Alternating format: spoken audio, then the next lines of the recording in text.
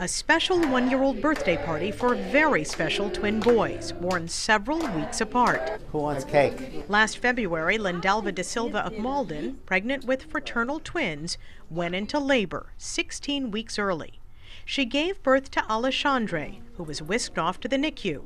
But in a rare twist, doctors at Tufts Medical Center were able to keep the second twin growing inside the womb. One twin was in a hurry to get out, and the other twin said, Hey, I'm going to hang out. Ronaldo arrived 24 days later on March 26th, making today his one year birthday.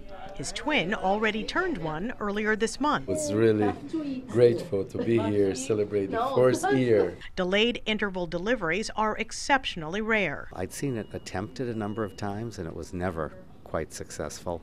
And in this case, it made a huge difference. Both boys are doing remarkably well, a real gift to the nurses and doctors who cared for them. This makes my whole day when I can go to a one year birthday party and see these kids doing well. To see them go from being tiny and fighting for their lives to thriving um, with what looks like no deficits is almost a miracle. A simple message of gratitude from mom. Thank you. Thank you. That's the only word. Thank you so much. Now, not only do the boys have different birthdays, they were born in different seasons and they have different zodiac signs. Mom and dad say both boys are healthy, that they're eating well and sleeping well, and they describe them as just perfect. I'm Dr. Mallika Marshall, WBZ News.